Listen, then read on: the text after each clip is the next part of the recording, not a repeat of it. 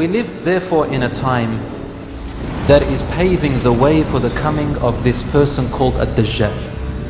Ad-Dajjal literally means the liar, the deceiver. And this deceive, deceiver cannot deceive people so perfectly until a road or an environment has been prepared for his coming.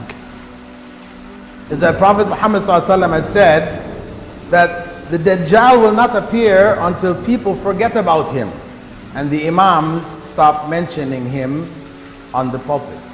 No doubt, it is not very often that we hear reminders of Dajjal and his time. So perhaps from that perspective, the time is near. The Jews are waiting for the Messiah to come. They believe the ancient Jesus, the real Jesus, he was an impostor, he was a false Messiah. This is in their Torah now, now which they have played around with. So they're still waiting for the Messiah. But they say the Messiah will not come out until the Temple of Solomon is rebuilt. They have to rebuild it. And the state of Israel becomes established. And the word of God, meaning the religion of the Israelites, of the Torah, is practiced throughout the world. That's what they said in the Torah. Then the Messiah will come out. That's when the Messiah will come out. The Christians, they say there will be an Antichrist, who is the Dajjal, and then Christ will come out against him. So they're very close to the Muslims. The Prophet ﷺ also told us the hour will not arrive until about 30 lying Dajjals appear, each claiming that he is a messenger of Allah. But Rasul stood up and he said, I will tell you, every prophet that came to his people, he told them something about the Dajjal. But I will tell you something about him that no other prophet has ever told his people. And he began to describe so much about his features, you can read about it in Sahih Muslim or Sahih Bukhari. And he said that the right eye will be like a floating grape, shaking while in the socket. The left eye will also be defective, not blind, but defective, having a thick film which will give it the look of green glass and it will be blood bulging, bulge. Furthermore, the Prophet ﷺ described his complexion as being ruddy white. Ruddy white means white to the point of redness. The people of Finland, north, northern areas of Europe, you'll find them having this complexion, white with redness in it, call it ruddy white. His forehead will be prominent and his neck wide. And he will be short and stout with a powerful build. And his back will be slightly hunched. His feet will be set apart, all the muscles and everything else.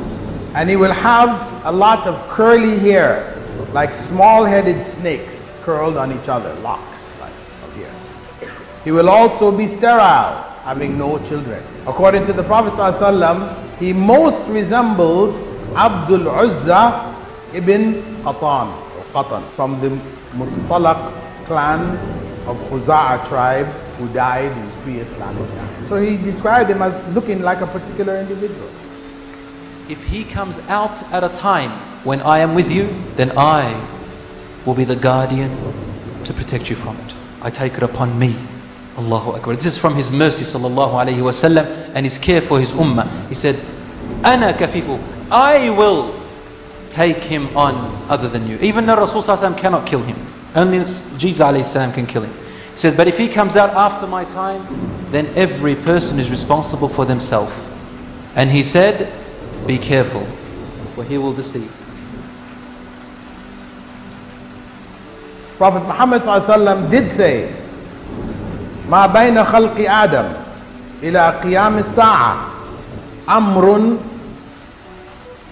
أكبر من الدجال.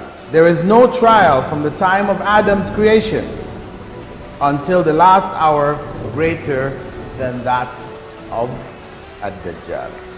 And he informed us that the coming of Dajjal was warned about by all of the prophets. وأن الله عز وجل لم يبعث نبيا إلا حذر أمته من الدجال.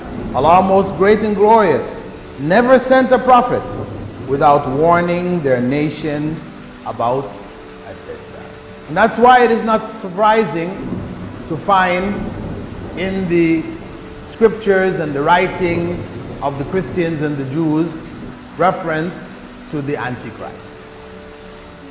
When he comes out, it will be very difficult to stand your ground. Rasul sallallahu alayhi wasallam, he tells us the believers will unknow him from three letters on his forehead, kafir or kufr, and the rest of the world will follow him. The weak believers will follow him. When is the time? The Prophet ﷺ told us that it would be in the time of the Mahdi. During that period, there will, after the Mahdi succeeds in overcoming the forces of other nations and sets up a rule, a rule which the Prophet ﷺ had said would be a time when justice would be spread throughout the earth. He will fill the earth with justice and fairness as it was filled with injustice and inequity. And he will rule for seven years. Towards the end of his rule, a drought will begin on earth. There will be three years of drought. In the first year, Allah will command the sky to withhold one third of its water.